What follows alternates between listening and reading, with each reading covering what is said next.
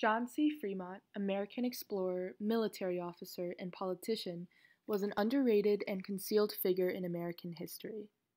Known as the Great Pathfinder, Fremont led several crucial expeditions as a mapmaker and explorer for American westward expansion.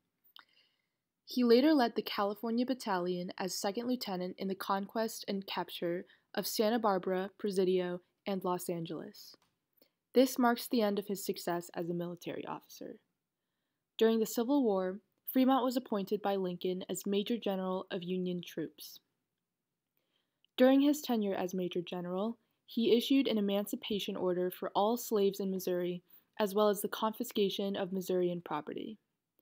Lincoln went on to rescind this order, believing that Fremont had acted too soon. Fremont was relieved of his position after taking an overly aggressive and what Lincoln thought to be a counterproductive approach toward emancipation. Shortly after, Fremont was given command of an army in the Appalachian region, during which time he failed to respond effectively against the rapid operations of his opponent, Thomas Jackson.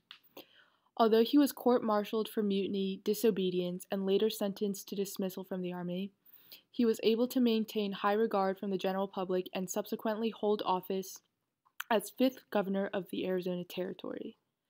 Aside from his position as governor, Fremont also held office throughout his career.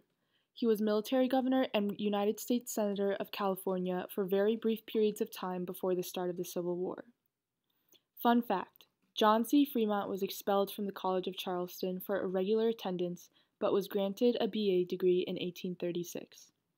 Fun fact number two Fremont was the first Republican Party candidate for president using the campaign slogan Free Speech, Free Press, Free Soil, Free Men, Fremont, and Victory.